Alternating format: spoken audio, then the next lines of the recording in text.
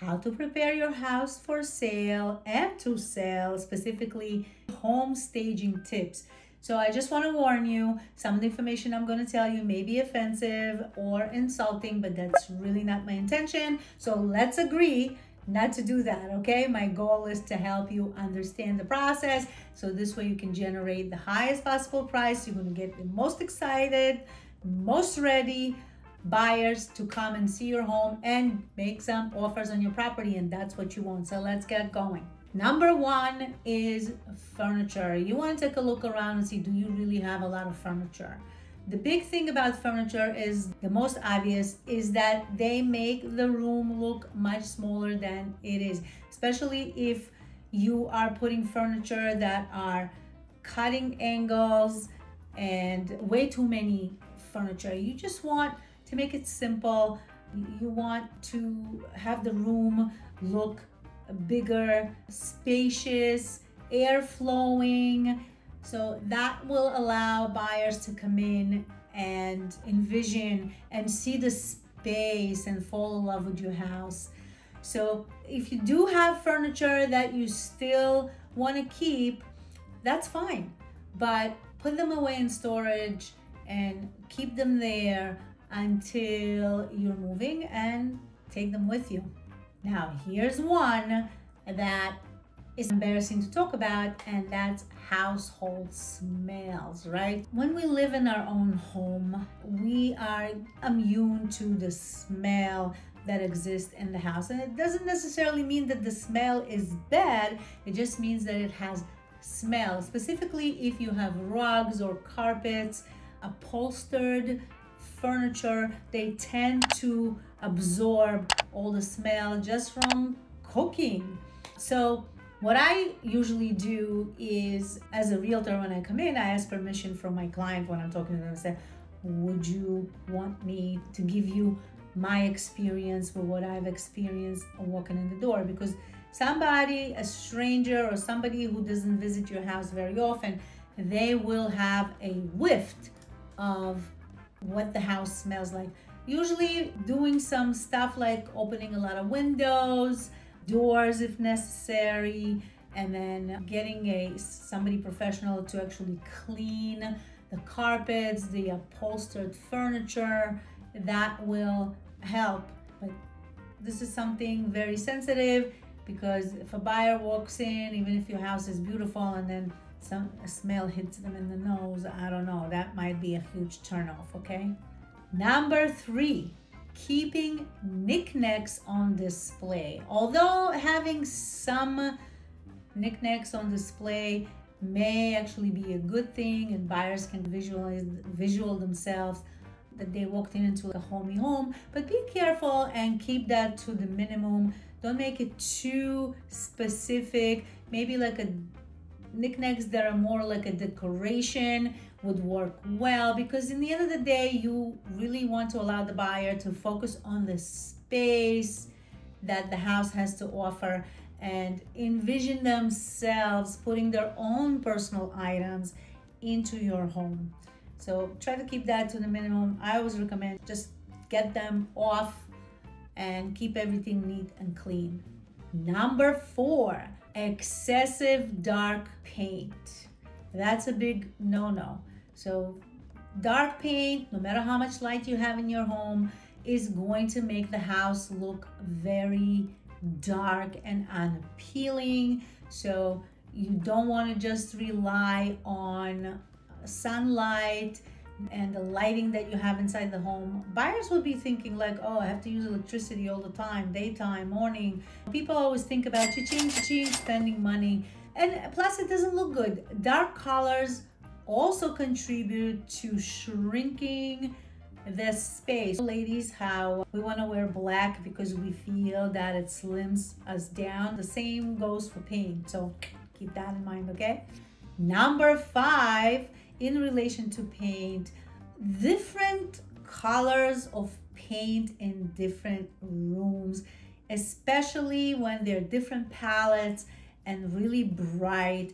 So it's okay to have different shades of colors as long as you make them all within the same palette then that's going to, to work well. But anything that's really flashy and tacky, plus colors like that always show every imperfection on the walls. Stay away from that. A good paint job will do the job. So if you can't decide how to maneuver uh, different shades of a palette, just choose one neutral, light color that matches with the scheme of the house and get a great paint job and call it a day. Don't make it complicated. That's not what it's about. Number six, lack of light. We just spoke about lack of light.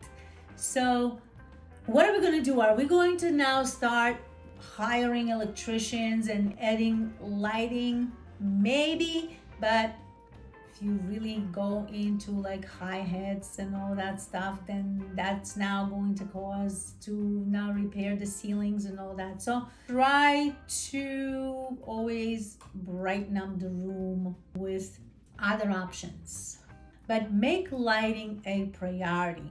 If you don't have any lights in the ceilings or they're very dark so a dark light on the ceiling could be easily fixed if we change light bulbs to really white light bulbs, if we are also changing to a high volt of light bulbs to create a lot more light. I've noticed that some light bulbs are yellow and the yellow light bulbs make the room look dark. So switch those around. But if you have no lights on the ceiling at all, I recommend don't go all the way and digging holes there. Just do track lighting, even though it's not the latest style. But if your choice is no lighting on the ceiling versus track lights, go with the track lights. I would, okay? Number seven, hanging artwork. Artwork could be really lovely, could be pretty. Don't put too much of it, but the key factor is don't hang it too high, especially if you're a tall person and you're gonna hang it to your eye level. It may look very odd and weird to a buyer that's coming in and they're going to feel out of place. So either take it down or rehang it to where its average size person can fit into the eye level. Number eight, multiple focal points in the house or in the room. Usually a focal point would be in the living room or a family room or both, but pick one. If you have a fireplace, then the fireplace is good to have a focal point. If you don't have a fireplace, then make the TV the focal point. And if you don't have TV or fireplace, then choose a window and make a window the focal point of the room. Just pick one, don't do multiples. Number nine, don't forget to take care of the storage areas. We forget a lot of times that buyers will come in and open the kitchen cabinets, open the closets, open every door that you have in the house. So one, you don't want a buyer to open a door and get something falling on them because it's all cluttered. But also, you want to keep it a little bit neater, arrange it, organize. Make sure you remember that, okay? Number 10, let's talk a little bit about the exterior. Don't forget that the first thing that the buyer sees when they approach to your house is the exterior and the curb appeal. I'm not asking you to start spending money and making a whole big project, but at least keep it clean, keep it if you have any weeds growing in the pavers and stuff, get somebody to clean it out, spray it out so the weeds don't grow so quickly. If you have some shrubs here and there, get them trimmed. If you have uh, those round, maybe power wash the house if it's dirty. If your house is stucco, a lot of times from the winter, from the rain, from mowing the grass and things like that, you have like green stuff going on, like algae and things like that. So try to correct that before you put the house on the market. Just keep in mind, organize the, the trash cans. Don't let things look like they're unattended. Pick up the garbage, things like that. Number 11, if we're selling during the holidays, decorations are lovely. They make the home look pretty, but keep in mind that way too many is going to be like the Christmas tree who has all different kind of de decorations. So you want to tastefully do it, keep it to the minimal, maybe combine two or three colors at most and leave it at that. And last but not least, keeping your kids cluttered as organized as possible. I know this is a tough one, but unfortunately something that needs to do. And if you do everything right and you prepare all that, then what's going to happen is you're going to keep showing number of days to the minimum. You'll get a lot of traffic. You'll get your offers. You will negotiate. You'll pick up a buyer. And from that point on, you get into contract and then you can relax. And if you want to keep your house a mess, that's fine too. Okay, I hope this video was helpful.